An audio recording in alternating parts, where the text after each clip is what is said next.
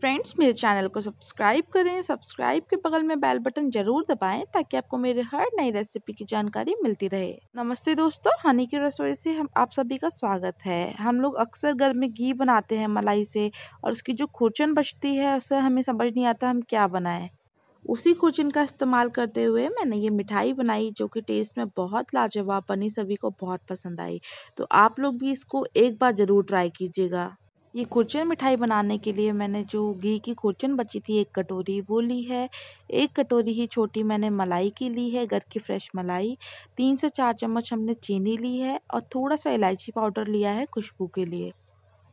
सबसे पहले हम एक कढ़ाई गरम करेंगे, जिसमें हम अपनी जो खुरचन है, वो डाल देंगे और इसमें में ही हम लोग जो अपनी मलाई है, मलाई और चीनी डाल देंगे और इसे तोड़ते हुए खुरचन के जो लम्ब्स हैं, गांठें हैं, इनको तोड़ते हुए हमें इसे लगातार मीडियम फ्लेम पर चलाते हुए पकाना है।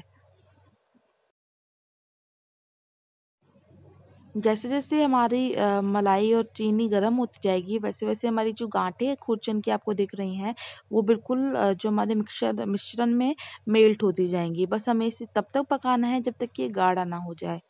जैसे जैसे चीनी पकती जाएगी वैसे वैसे हमारा मिश्रण भी गाढ़ा होता जाएगा और एक जमने जैसे कंसिस्टेंसी में ये आ जाएगा।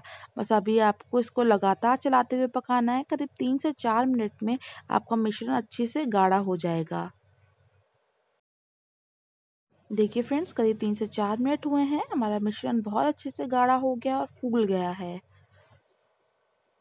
अब हम इसमें इलायची का पाउडर डालेंगे और इसे अच्छे से मिक्स करेंगे और आप देखेंगे कि आपका जो मिश्रण है वो फूल भी गया है और जो किनारे हैं वो छोड़ने लगा है। अच्छी तरह से वो गाढ़ा हो चुका है। आप इसमें चाहें तो नारियल, सूखे नारियल को ग्रेट करके भी डाल सकते हैं, उससे और भी अच्छा इसका स्वाद आएगा। तो बस अभी हमें इसे अच्छे से मिक्स करते हुए बस हमारा मिक्सचर ऑलमोस्ट रेडी है, अभी हम गैस बंद कर देंगे।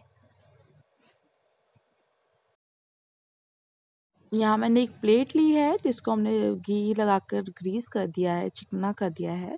उसमें हम अपना सारा मिश्रण डाल देंगे और मिश्रण को चम्मच या स्पैचुला की हेल्प से साइड से आप इस तरीके से लेवल कर लें और इसे सेट होने के लिए रख दें।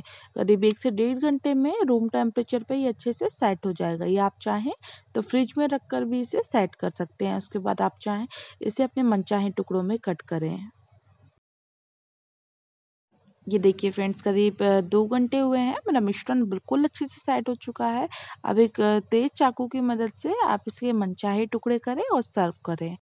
ये लीजिए फ्रेंड्स, हमारी बहुत ही स्वादिष्ट खुरचन की बर्फ़ी तैयार है। बहुत ही स्वादिष्ट, बहुत ही टेस्टी बनी थी। मेरे घर में सबको बहुत ही ज़्यादा पसंद आई थी।